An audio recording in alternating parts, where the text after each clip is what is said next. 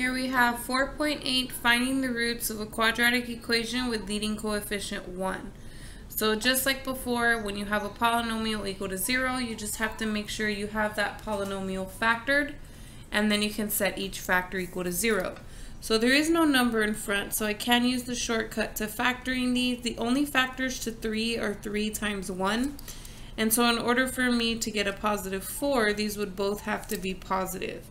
And then if I set each of these factors equal to 0, I would minus 3 on both sides, and then I would minus 1 on both sides.